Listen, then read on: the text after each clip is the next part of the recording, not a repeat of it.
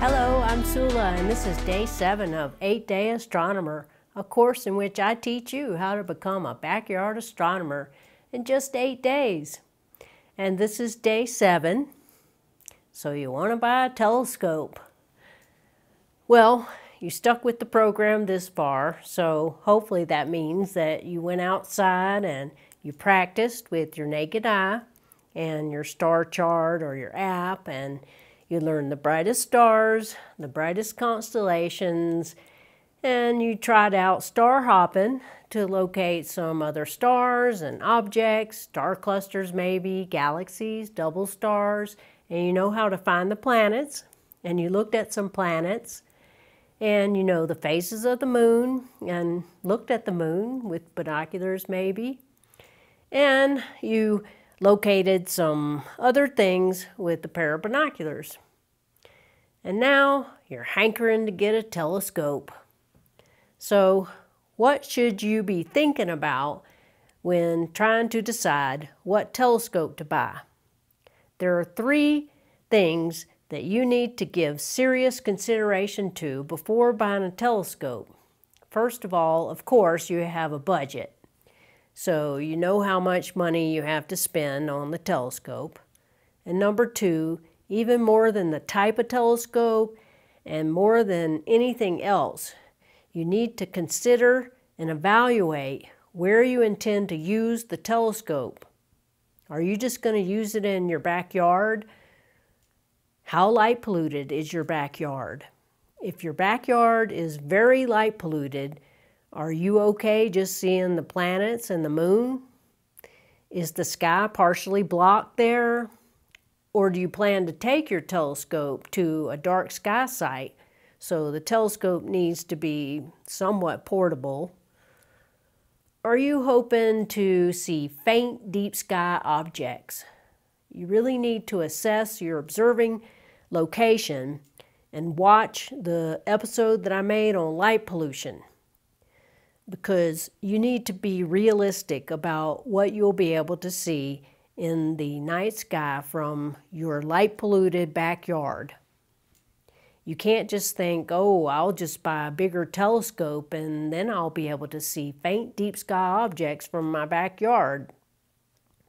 Because that is simply not true. And I'm not talking about a telescope for astrophotography Sure, you can get a telescope and put all kinds of filters on it and attachments and spend hours at a computer to overcome light pollution for your astrophotos. But that's not true of a telescope that's intended for visual use. You will not be able to see faint deep sky objects from a light polluted observing site, no matter the type of telescope or the size. What I'm talking about are telescopes that are intended for visual use because this course is about visual astronomy. So once you have set your budget and you've given serious consideration to your observing site and you know the limitations that light pollution will impose on what you can see in the night sky from your observing site or your backyard or wherever you intend to observe, or you decided that you're willing to pack up your telescope and take it to a dark sky site. The third thing to consider is how much can you lift now and when you're older because even if you're planning to just use your telescope in your backyard, you still need to get the telescope to the backyard because you can't just poke it out of the window. And if your telescope is heavy hard to maneuver or awkward to lift by yourself, you're probably not going to use it much. And if you plan to take your telescope to a dark sky site, it needs to fit in your car and you need to be able to get it into your car and you need to be able to get it out of the car and set it up and tear it back down again in a reasonable amount of time. Those are the things that you need to seriously consider and are far more important than the type of telescope that you ultimately buy. Now let's talk about types of telescopes. First of all, telescopes will be defined by the diameter of the primary lens or primary mirror, and this is called the aperture, and it'll either be in inches or millimeters. And the larger the aperture, the more light the telescope can gather, and the better the resolving power of that telescope, and the more you'll be able to see in the night sky. There are three basic types of telescopes.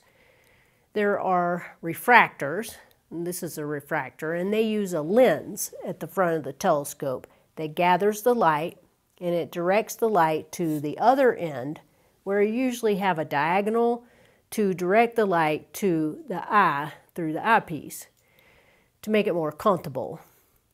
And there are reflectors, including Dobsonians, that use a mirror at the end of the telescope that gathers the light and it reflects the light back to a smaller mirror at the front of the telescope that sends the light to your eyepiece and your eye. And there are catadioptric telescopes that use mirrors and lenses. And these are usually either a Schmidt-Cassegrain or a Maksutov-Cassegrain telescope. There are other kinds of catadioptric telescopes that are not as common. With the refractor, there's nothing obstructing the light that's coming into it. And so they're known for having crisp, bright images. But if they don't include additional lenses called ED or extra low dispersion lenses, they're going to suffer from what's called chromatic aberration. They're called achromats, and they'll have false colors. Refractors that add extra ED lenses are called apochromatic, and they are heavier and cost more than achromats. Refractors are the most expensive type of telescope per inch of aperture. And one limitation on refractors is that commercially, you can only get up to about seven inches of aperture because after that, they're going to be too long, too heavy and too impractical. You would need a personal observatory to hold one bigger than that. And that's why all professional telescopes these days are reflectors, including James Webb, which has a lot of mirrors. Reflectors have some obstruction at the front of the telescope because the secondary mirror is held in place by spider vanes usually and that will block some of the light that's incoming. However, you won't notice it, and you can get much larger aperture in a reflector than in a refractor at a fraction of the cost of a refractor. They're the most practical and affordable.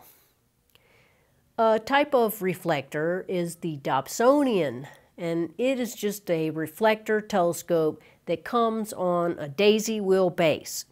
So it's a complete package. And they're usually very reasonably priced and you can get the most aperture for your budget if you get a Dobsonian telescope. The last kind of telescope is the catadioptric and they use a primary mirror at the back of the telescope where the eyepiece goes and in the front of the telescope is a lens or a corrector plate that's there to correct for aberrations caused by the spherical mirror.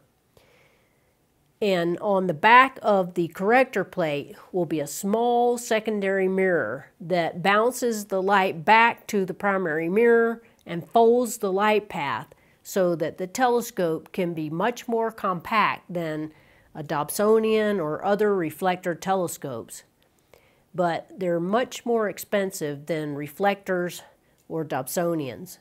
And they also have a small amount of obstruction as well, but they're wonderful telescopes with crisp, bright images as well, especially the Maksutov Cassegrain telescope, which are known for having very sharp images in contrast.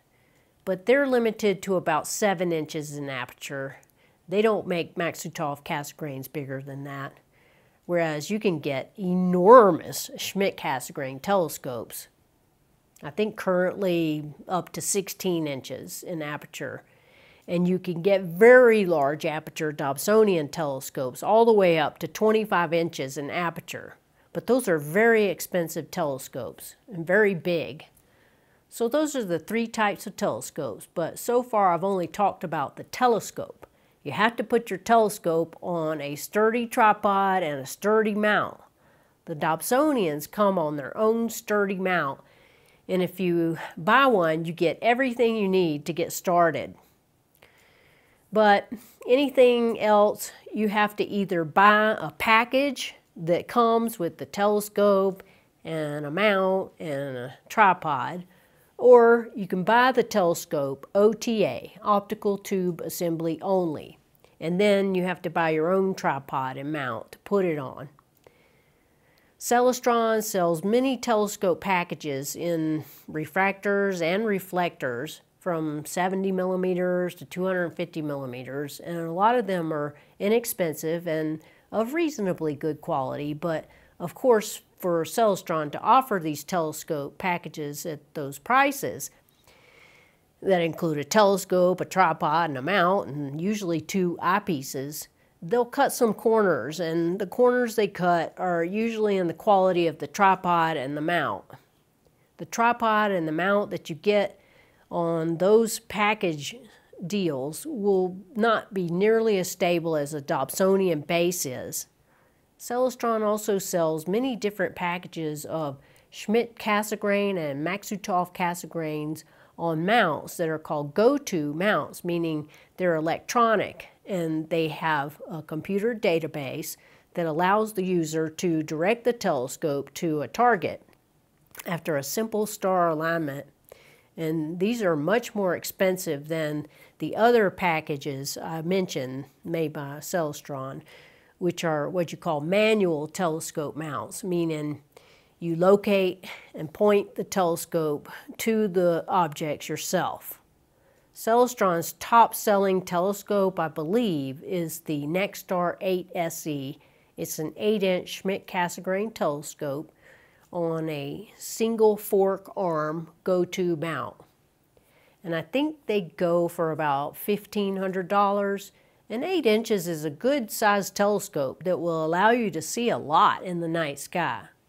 But you can get an 8 inch Dobsonian for $600 or $700 depending on the accessories and the model. Many companies make Dobsonian telescopes, so you can shop around and you can usually find a nice used 8-inch Dobsonian for sale. And an 8-inch Dobsonian is the number one recommended telescope for a beginner. You get a lot of aperture in a reasonable price. So now you know about the types of telescopes and what are the most important things for you to think about before buying a telescope. And maybe after hearing all this, you're okay just using binoculars because you can see a lot with a pair of binoculars. And they're much more portable than a telescope. I just set up the three types of telescopes just to give you an idea of what's involved setting these setups. This is a refractor on a go-to electronic Altaz mount. This is a Schmidt Cassegrain, also on a go-to Altaz mount. And this one is a Dobsonian, which is a type of Newtonian reflector, and it's a manual mount. You push it to wherever you want to look, and you have to find things yourself. This Dobsonian has a mirror at the bottom of the telescope It's 254 millimeters or 10 inches and it has a focal length of 1200 millimeters. So it's a big telescope, but this is the number one recommended telescope for a beginner. Eight inches would be a little easier to maneuver, but if you can handle it, 10 inches would be even better, two extra inches of aperture. But these are the three types of telescopes. Whatever you decide, just keep in mind that if the telescope is too big or too heavy or too hard to move around, you're not going to use it much. It will seem more like a chore than fun. The best telescope is the one you use the most. So I hope this was helpful And in the next episode, I'll tell you what kinds of things you can expect to see in a telescope, and also some other things that you can see in the sky that don't require a telescope. I'll see y'all soon. Dark Skies Forever, Tsula, signing off.